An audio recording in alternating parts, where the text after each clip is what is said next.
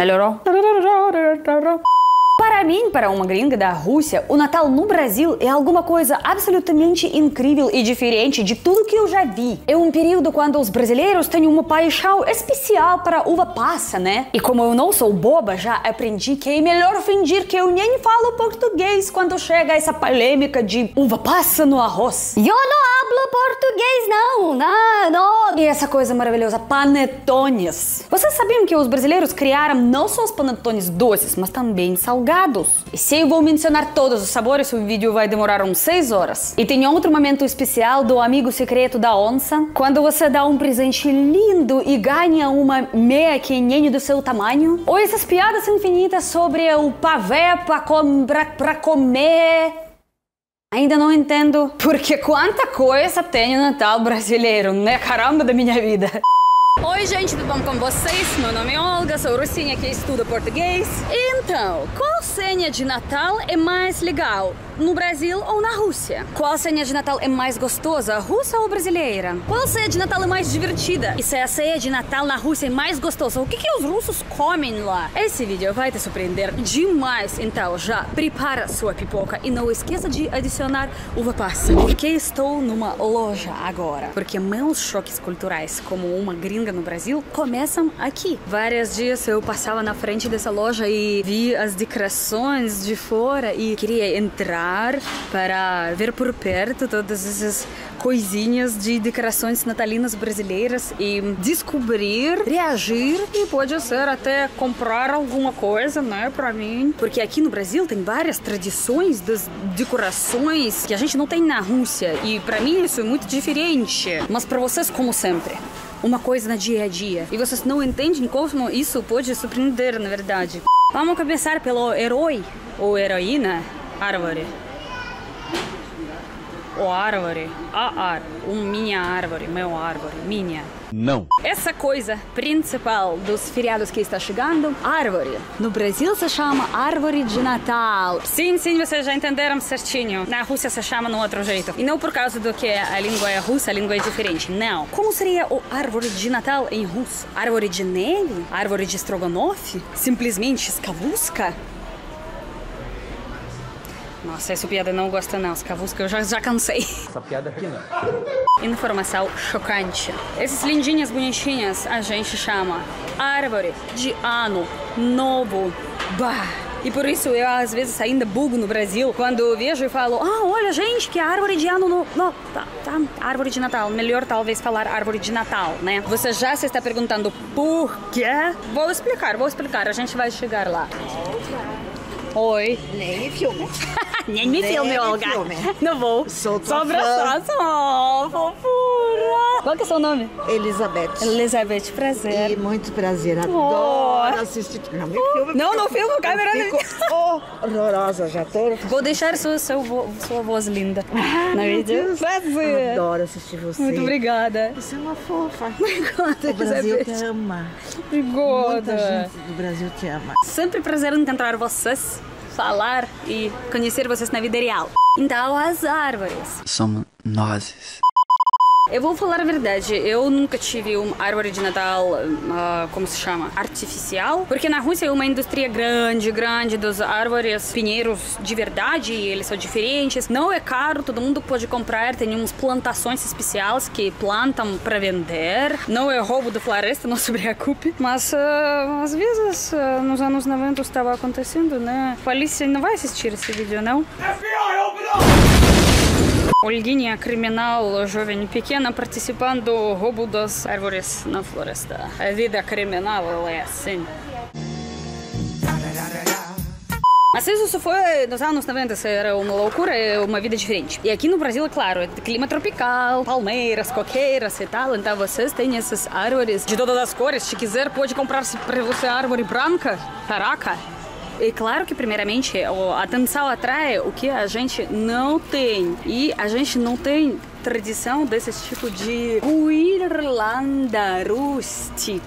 A gente chama vinoc isso. A gente tem nome para isso, mas a gente não tem isso. E eu acho isso fofíssimo, lindíssimo. Também, oi, como imitação de neve, olha isso. Oi, isso eu preciso, isso eu compro. Caixinha, né? Vou dar presente para minha doutora. Espero que ela não vai ver esse vídeo antes de, antes de receber presente. Esse também é bom. Nossa, essas compras uh, natalinas uh, das coisas que você nunca viu antes. É um prazer, né? É uma atração inteira. Nossa, quantas bolhas. Como se chama isso? Bolas, bolas. A, a gente também chama bolhas ou bolas. Não lembro. Já tô começando a esquecer a minha língua. Todos esses pratos gigantes. É para aquele pássaro enorme que vocês comem no Natal, eu já vi nas fotos. Na Rússia a gente não prepara nada grande. É muitos pratos pequenos com muita coisa pequena. E essas todas decorações, eles me lembram muito um, estilo do Natal nos filmes dos Estados Unidos, né? Quando tem muita coisa vermelha, muitos esses tipos de flores, que a gente não tem na Rússia. Pinha de plástico. Velas eu compro com certeza. A gente não tem tradição de velas, porque, de novo, tem muito mais vibe de Natal católico. A Rússia é ortodoxa. É outra coisa, né? O que, que é isso? É uma saia, literalmente? Ah, é talvez para botar embaixo da árvore, para organizar. Agora entendi. Nossa, ela é gigante. Eu posso usar para mim mesma. Peraí, eu achei alguma coisa melhor. Barba Papai Noel. Two seconds later. Eu compro isso. Com vantagem grande pode ser uma peruca. Peruca. Peruca.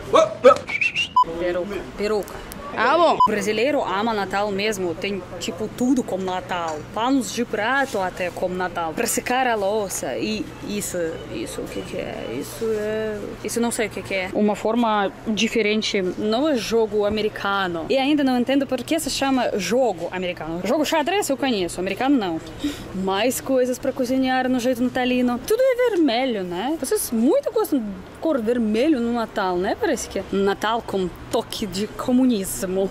Calma, será que você não aguenta uma brincadeira? A gente não tem um cor determinado de Natal. Pode ser igualmente verde, azul, vermelho, dourado, prata. É igual esse, é, tipo, coisa brilhante, assim, isso, o que que é. Esse tipo de decorações a gente não tem na Rússia. Tudo isso, eu nem tenho certeza para como exatamente usar. É para árvore de Natal, para decoração da mesa, para decoração de parede. Ué, quebrou, pagou, né? No Brasil a regra clara. E meu amiguinho está aqui. Esse ano, um monte das lojas, um monte das pratas no Brasil eu vi nas diferentes cidades decoradas como quebra-nozes. Olha, aprendi como falar em português, porque é muito diferente do original, né? Em russo é Shilkunchik. Mas a gente não decora nada de Shilkunchik no Natal ou Ano Novo, não sei porquê. No Brasil é muito mais comum. Esse ano eu vi Shilkunchik mais do que na toda a minha vida na Rússia. Né, cara? Você agora virou brasileiro, tem tanto no Brasil quanto não tem na Rússia. Se inscreve no canal, cara. E Feliz Natal!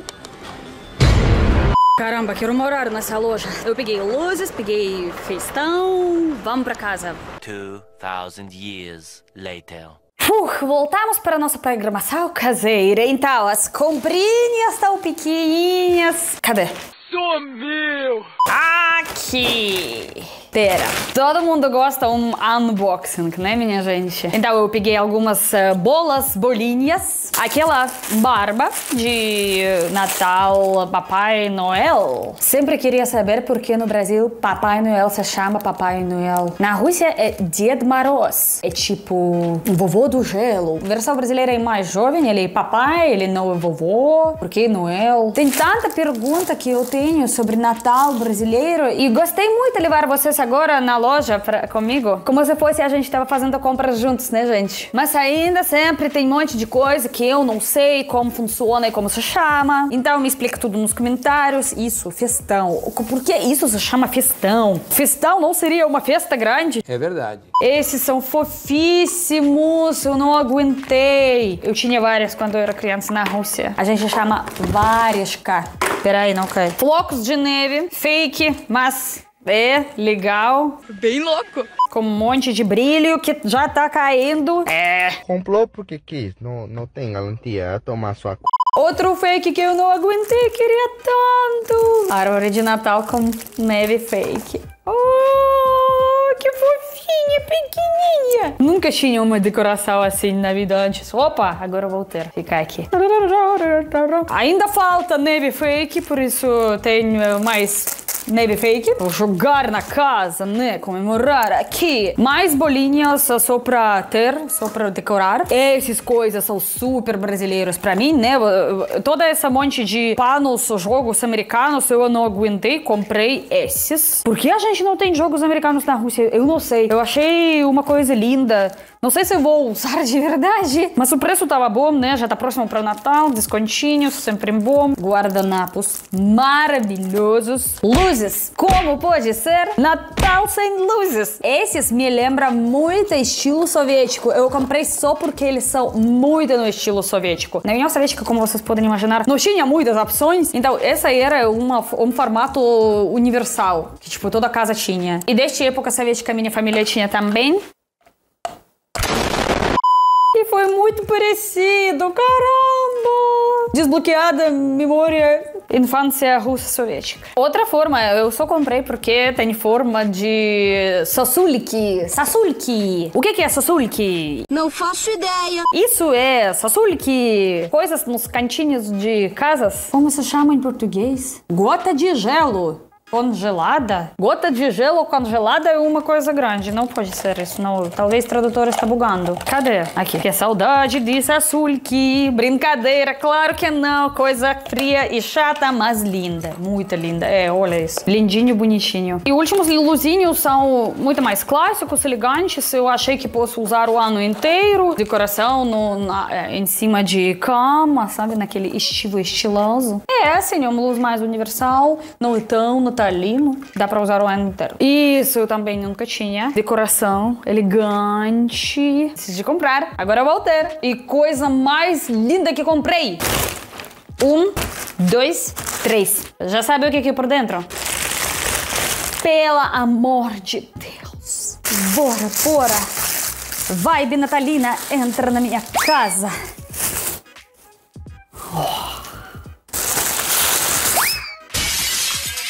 Opa! Caramba, da minha vida! Eu juro, não sei porquê a gente não tem tradição de decorar as casas com velas assim, nesse estilo. Eu acho que só chega agora na Rússia. Chegar, chega, mas nem tanto como aqui. Vela e tudo, nossa, gente, amo, amo, amo velas. Manda velas!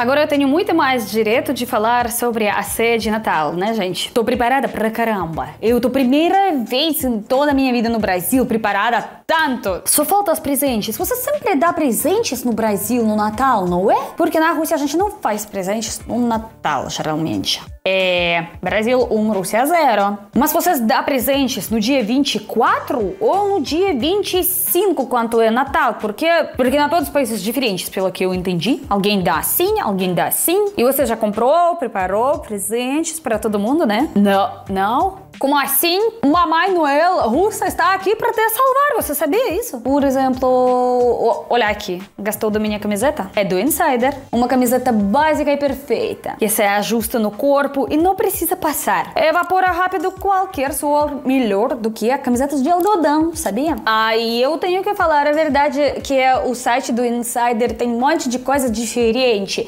Essa camiseta Tech que eu estou usando agora é uma coisa legal, mas se vocês querem algo alguma outra coisa mais esportiva, mais elegante, roupa para academia, roupa para sair. Eles têm tudo no site, só dá uma olhada porque isso é um lugar para achar os presentes perfeitos para os feriados do final do ano. roupa do Insider é de verdade para todo mundo. Essa camiseta que eu estou usando agora é de tamanho L, porque eu gosto das coisas são largos, largos, mas tem um monte de tamanhos de P até X, GG, roupa masculina, feminina, todas as cores. E sabe o que? Preparando os presentes para todos. Não esqueça a pessoa principal da sua vida, é você mesmo. Então, que tal um presente prático e estiloso para si mesmo? E com o meu cupom OLGA12, que dá 12% de desconto na sua compra, fica ainda mais atraente. É não é? Em descrição do vídeo você vai encontrar o link com todas as opções que está te esperando,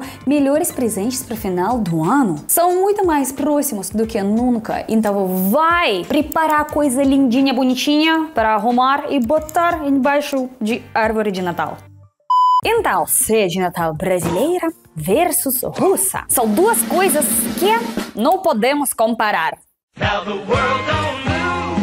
Porque Natal russo é uma coisa super diferente, é uma celebração muito religiosa, sabe? A religião ortodoxa é diferente de catolicismo, né? Então, vai ser muito mais justo se a gente vai comparar ceia de Natal brasileira com ceia de Ano Novo russo. Isso sim! E vou explicar para você por quê. Vocês comemoram o Natal muito mais forte do que Ano Novo, não é? Pelo que eu entendi com brasileiros, quem falei, é, foi assim, é. Natal, praticamente, o feriado principal do ano. Na Rússia, o principal feriado do ano é Ano Novo, que todo mundo comemora e todo mundo espera muito. No Natal, vocês dão presentes no Brasil. E pelo que os brasileiros me falaram, no Ano Novo não é sempre. É mais importante dar no Natal. E na Rússia é a mesma coisa. O mais importante presente é pro Ano Novo. No Natal, vocês têm esse tradicional reunião da família, quando se encontram os irmãos, primos, tios,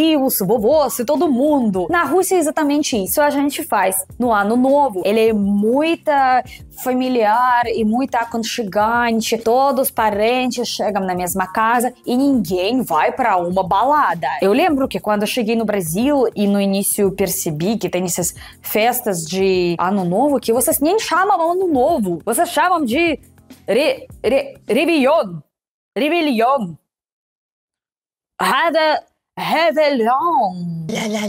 Aquela palavra francesa que eu não faço a menor ideia, então a gente não chama assim, eu não sei, não lembro como é. Eu fiquei tipo, uou, o que que tá sobre família? Aí depois entendi que é tudo isso o que eu penso sobre Ano Novo aqui acontece no Natal. Outra coisa que já falamos, árvore de Natal. Natal eu tenho que falar. Porque vocês montam ele pro Natal. Vocês começam a montar a árvore de Natal quando? Eu não sei. Eu vi que os brasileiros começam a montar no, no dia 10 de dezembro, por aí. Alguém no dia 1 de dezembro, dia 15 de dezembro, por aí, né? Para estar pronto pro Natal. Para botar presente embaixo, né? E na Rússia a gente chama isso árvore de Ano Novo, porque a gente prepara ele para Ano Novo. Geralmente a gente monta a árvore no dia 29, dia 30, às vezes até 31, quem atrasou, porque o principal é ter essa árvore no noite do ano novo e botar os presentes para a noite do ano novo, para dar na noite do ano novo, acho que vocês já entenderam.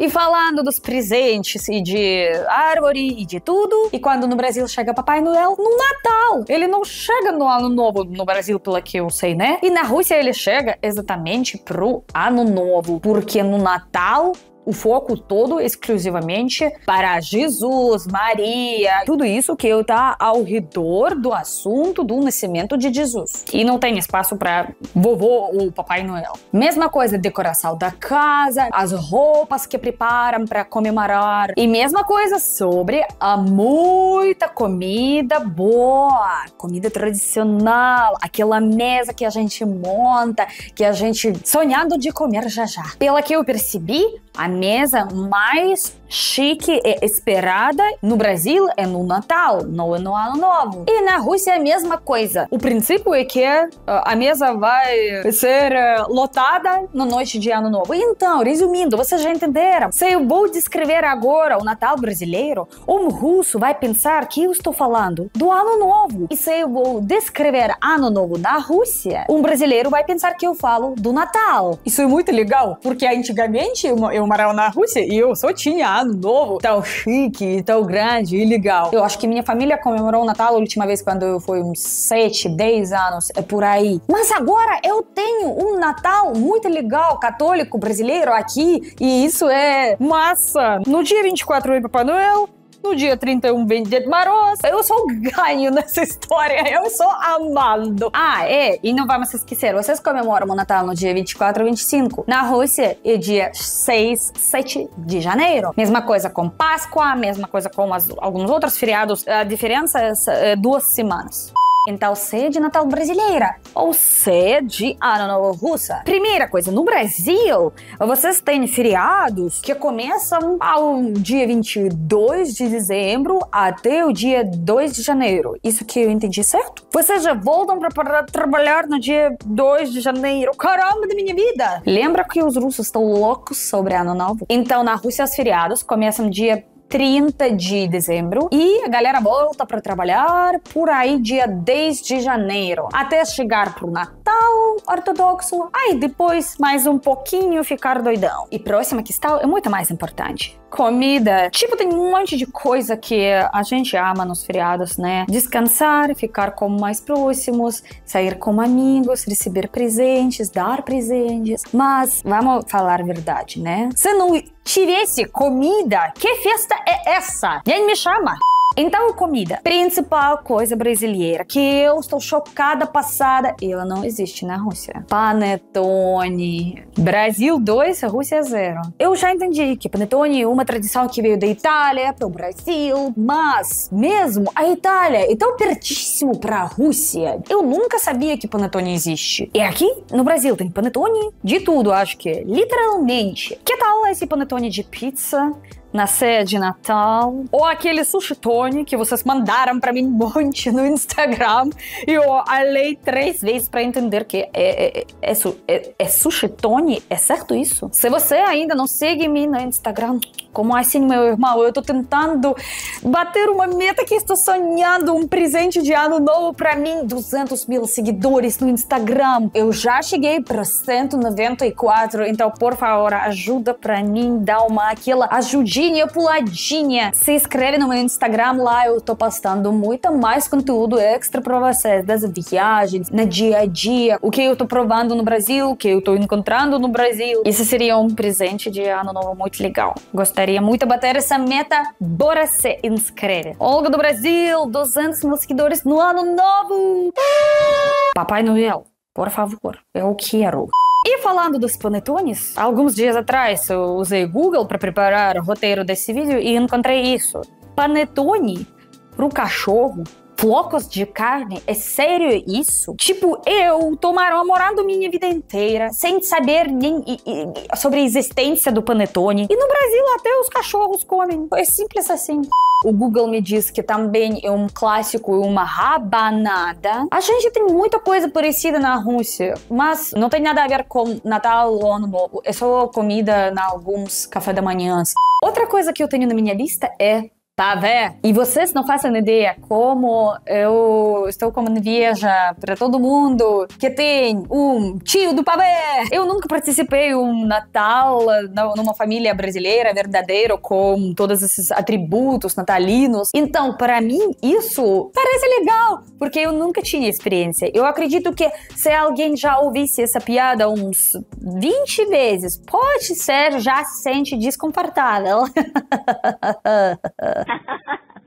Mas como eu não, e eu sou estrangeira, para mim é interessante, parece curioso. Quais outras sobremesas tem no Natal, no ceia de Natal brasileira? Me diz nos comentários. E o que temos na Rússia? Vamos começar com o fato que nunca tinha uma tradição grande de sobremesa, sobremesa mesmo, doce no, na ceia de Ano Novo. Não sei porquê. Sempre tinha muito mais foco na comida salgada. Mas geralmente tem aquele negócio que se chama Keks ele até de longe lembra os bolos brasileiros caseiros, aqueles que sempre tem na padaria. Só que ele é mais fofinho e feito de um produto de leite que se chama Tvorak, que de longe parecido com ricota, mas mais fofinho, azedinho e não tão doce. Outra coisa, bolo de mac, semente de papoula. Eu não sei se é certo em português. Aquele flor vermelho que tem dentro coisinhas. Como isso tem um tipo rolê ou torta, alguma coisa assim também. Biscoito de gengibre clássico. É muito legal fazer na época de frio. É legal, gostoso. Eu tava fazendo também. E sempre tem que ter um monte de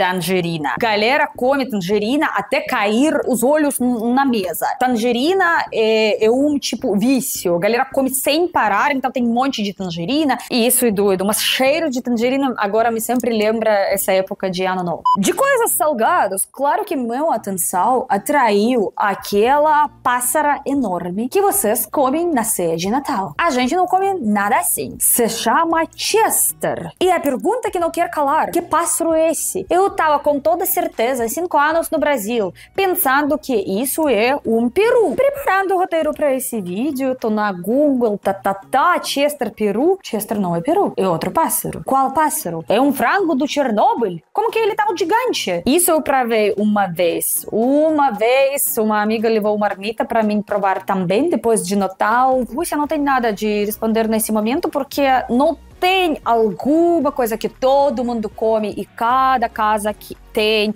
na mesa algum animal grande assim. Talvez geralmente carne de porco, preparado em alguma forma de roulette, com maçãs, com peras. Isso assim, galera gosta, as pessoas sabem cozinhar e fazem bem, é gostoso. E agora eu preciso falar sobre alguma coisa que eu nem queria falar. É, eu descobri mais uma palavra brasileira que é para vocês é uma palavra só normal, mas é, em russo ela também existe, mas significa alguma outra coisa. Vocês comem comem Chester no Natal porque ele.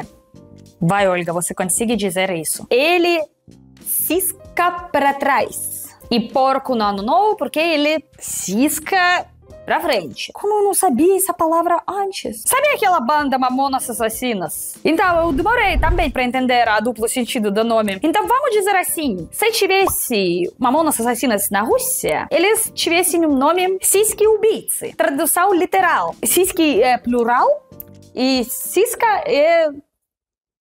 Uma mamona, vamos dizer assim. Esse vídeo tá mudando o foco. Vamos voltar pro Natal. O que uva passa tem a ver com Natal? A gente não tem nada como uva passa, nem no Natal, nem no Novo. A única coisa é quando os russos usam a passa, uva passa no arroz ou em alguns pratinhos, e, então não sei como se chama isso em português, mas quando a pessoa nos deixou, depois tem algum encontro com todo mundo, né? E um jantar, um almoço juntos. E lá tem tradição de comer no início arroz com uva passa. Só isso. Explica para mim por quê, de onde surgiu essa tradição. Você coloca uva passa ou não? É verdade que tem guerra ou só uma piada?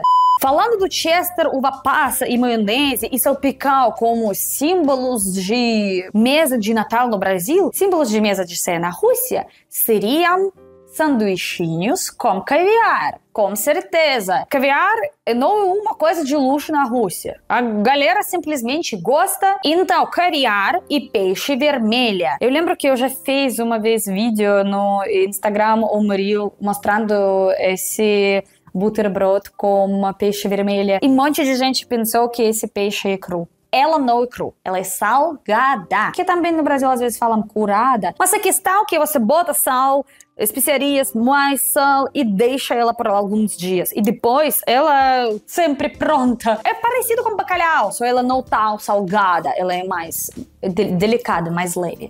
E o principal que eu devo dizer, o famoso lendário Olivier, salada russa símbolo de Ano Novo na Rússia. Não existe feriados Ano Novo e Natal na Rússia sem alivia. Não tem família que não faz isso e não come. Eu te juro, maravilhosa e famosíssima no mundo. E quem viajou pela Europa vai saber que nos lugares uh, no quilo, nos supermercados onde vendem comida pronta, também sempre tem essa salada. Mas na Rússia a gente chama ele Olivier, no, do jeito francês, porque a cara que criou na Rússia muito tempo atrás tinha alguma coisa com França, não sei o que, mas aqui está o essa. Bateu vontade de Olivier. Também vocês fazem maionese. É verdade que vocês sempre fazem maionese na ceia?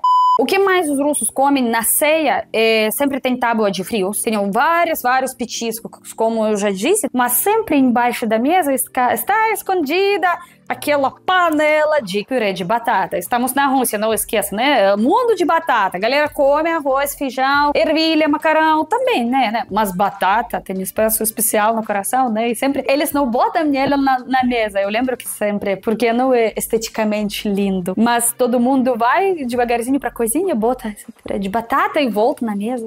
Conservas. Como, como pode ser ano novo russo sem conservas? Claro, pepino, chucrute, tomate, várias outras saladas também. Eu não sei porquê, mas russos muito mais focados nos saladas do que num prato grande geral. Tem também salada que se chama chuba, é um clássico. Erenge, erenge, né? Como se chama esse peixe? É aquela loja de roupa, né? Peixe salgado e depois várias camadas de vegetais diferentes, com maionese e fica desse cor por causa do beterraba. Outro com carne com caranguejo é caranguejo e várias outras coisas, aqui ervilha, arroz e outras qualquer saladas que as pessoas inventam, porque sempre tem alguém que inventa mais alguma coisa, como aqui no Brasil. E claro que também pessoas bebem, mas não tem regra. Não sempre tem champanhe. Eu percebi que aqui no Brasil, ao menos uma tacinha sempre tem. Na Rússia, não. Até pode ser, mas não. Se não tem, ninguém liga. E depois, quando a barriga está cheia, claro que a atração clássico é sempre TV, algum show. Mas, se você estava pensando que